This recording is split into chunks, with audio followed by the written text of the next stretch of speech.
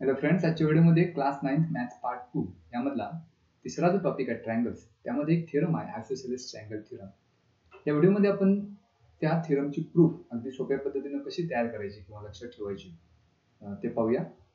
कुठल्याही थिरमची प्रूफ पाठ करायची नाही किंवा लक्षात ठेवायची नाही. अगदी लॉजिकली दोन तीन स्टेप्स त्याच्यामध्ये असतात प्रत्येक थिरमच्या प्रूफमध्ये तेवढेच फक्त आपल्याला लक्षात ठेवायचे आहेत. म्हणजे मग आपल्याला कुठलाही थिरम लक्षात ठेवावा लागणार नाही किंवा पाठ करावा लागणार नाही.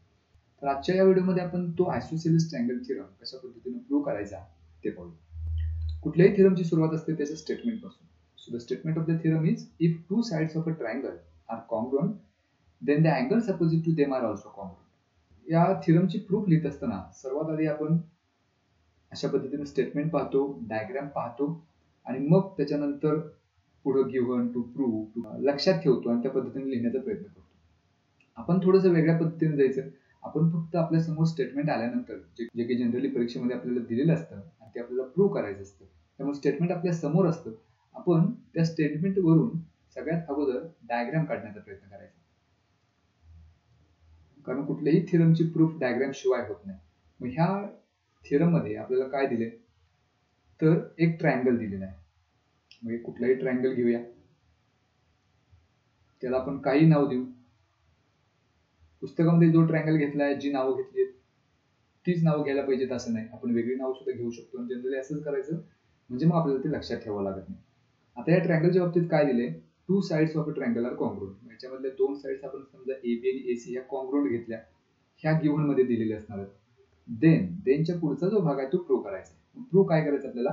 Then the angles opposite to them are also congruent मग ए बीच्या अपोजिट अँगल सी आहे. ए सीचा अपोजिट अँगल बी आहे. आपल्याला प्रूव्ह करायचं की हे दोन अँगल्स कॉम्प्रोन दॅट्स इट म्हणजे आपण या स्टेटमेंटवरून डायग्राम काढू शकतो त्या डायग्रामवरून गिव्हन लिहू शकतो आणि टू प्रूव्ह पण लिहू शकतो. आणि मग त्याच्या पुढचा भाग तो प्रूव्ह कसा करायचा?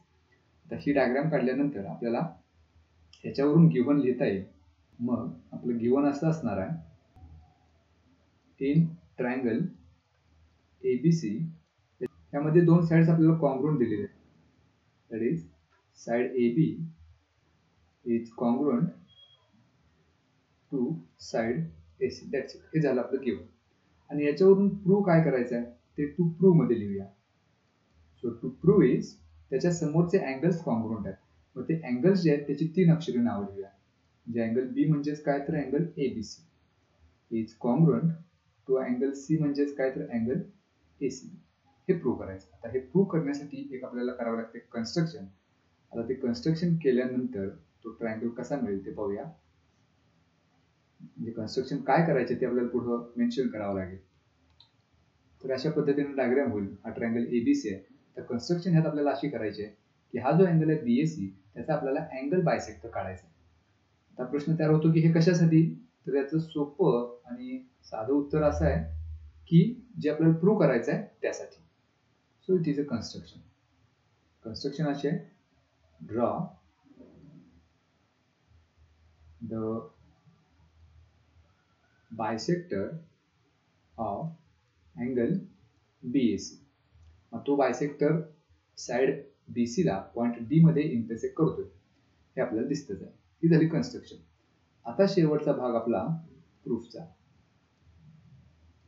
म्हणजे प्रूव्ह करायला अशी कन्स्ट्रक्शन केल्यामुळं म्हणजे हा रे एडी काढल्यामुळं ट्रँगल एबीसीचे दोन ट्रँगलमध्ये मध्ये विभाजन झालेलं आहे. एबीडी आणि ACD will consider these two triangles that is in triangle ABD and triangle ACD आपण लॉजिकली एवढंच लक्षात ठेवायचं की हे दोन ट्रँगल्स आपल्याला कॉम्पाऊंड दाखवायचे मग त्याच्यासाठी कॉन्ग्रुएंट एलिमेंट्स एकत्र करूया. सगळ्यात अगोदर ए बी आणि ए सी ह्या साईड्स कॉन्ग्रुएंट दिलेलेच आहेत.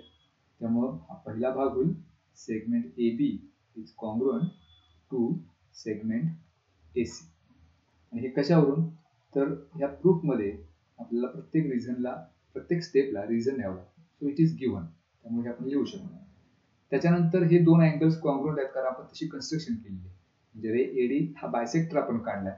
म्हणजेच अँगल बीएसीचे हे दोन इक्वल अँगल्स तयार होतील. So that is the second component angle B A D is congruent to angle C A D तर याला सुद्धा कारण द्यावं लागेल. हे कशामुळे झालंय? तर कन्स्ट्रक्शनमुळे so the reason is construction तर आणखी एक एलिमेंट आपल्याला शोधावा लागेल जो आपल्याला डायग्राममध्ये दिलेला नाही. पण तो एलिमेंट असल्याशिवाय हे दोन ट्रँगल्स आपण कॉम्प्रून दाखवू शकत नाही. तो एलिमेंट जो आहे ती म्हणजे ही side AD which is a part of both the triangles म्हणजे एडी ही जी साईड आहे ती ट्रँगल एबीडीचा भाग आहे. त्याच पद्धतीने ट्रँगल एसीडीचा पण भाग आहे. So it is a common side so segment AD is congruent to segment AD. Reason is it is a common side.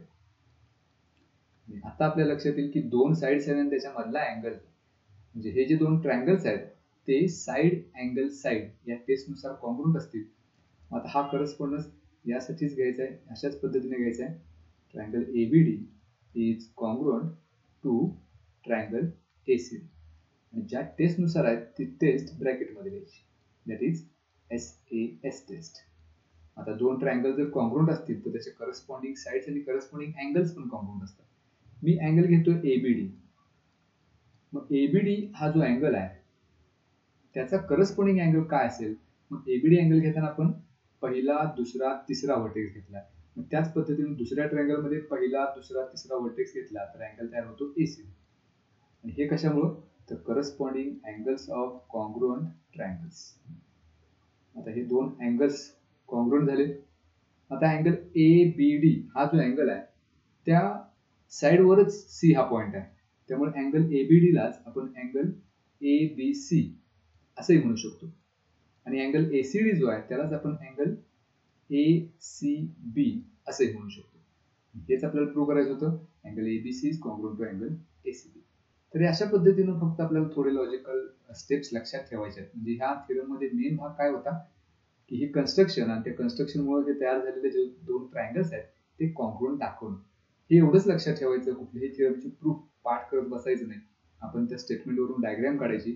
आणि डायग्रॅमशी रिलेटेड मग गिवन काय असेल प्रूफ काय असेल त्या असेल तर कन्स्ट्रक्शन तेवढी एकच लक्षात ठेवावं लागेल. आणि मग त्याच्यानुसार ह्या सगळ्या लॉजिकल स्टेप्स ते आपल्याला पुन्हा त्याच्यावरून आपोआप लिहिता येतील. त्यामुळे या पद्धतीनं कुठल्याही थिरमचा अभ्यास करायचा आहे. कुठल्याही थिरम लिहित असताना या पद्धतीनं त्याचा सराव करायचा म्हणजे ते आपल्याला पाठ करावं लागत नाही. आणि ह्यामध्ये मार्किंग डिस्ट्रीब्युशन पण त्याच पद्धतीनं असतं. म्हणजे पूर्ण थिरम बरोबर आला तरच सगळे मार्क मिळतील असं नाही. म्हणजे जर आपल्याला हा क्वेश्चन प्रूव्ह करायला आला तर जी डायग्राम आपण काढतो त्याला अर्धा मार्क असतो. जे गिवन असतं त्याला अर्धा मार्क आणि कन्स्ट्रक्शन आणि टू प्रूफ याला अर्धा मार्क म्हणजे दीड मार्क इथं असतो आणि उरलेला दीड मार्क ह्या प्रूफला असतो. म्हणजे तीन मार्काला जर प्रश्न असेल तर हे अशा पद्धतीनं मार्किंग डिस्ट्रीब्युशन असतं. त्यामुळे प्रूफ जरी आपल्याला नाही समजली नाही जमली तरी सुद्धा स्टेटमेंटवरून एवढा भाग तर आपण लिहू शकतो. ज्याचे दीड मार्क आपल्याला मिळतील आणि त्या दीडचे आपोआपच पुन्हा दोन होऊ शकतात. त्यामुळे या पद्धतीनं आपण जर कॅल्क्युलेटेड अभ्यास केला तर आपल्याला थिरम कुठलाही अवघड वाटणार नाही. So this is the isosceles standard theorem